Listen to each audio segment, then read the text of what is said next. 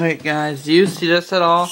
There's a foul on Andrei Kirilenko here. It was, it was a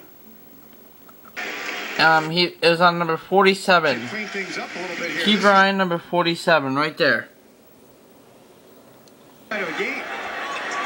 But two, Kirilenko got a hand to knock it away. But two gets knocked to the floor. Did you guys see the foul? On Kirilenko. A little bit of a late call there. Did you guys see the foul at all? I did not see the foul at all. Look at this, watch The this. foul on this play. I mean, where's the foul? That's just an awful call. It was, it was a late whistle for sure.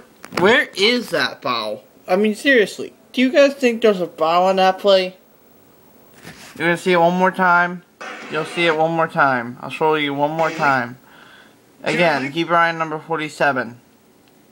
Can clean things up a little bit here. This is too tight of a game. But two, Kirilenko got a hand to knock it away. But two gets knocked to the floor, and they're whistling a foul on Kirilenko. A little bit of a late call there.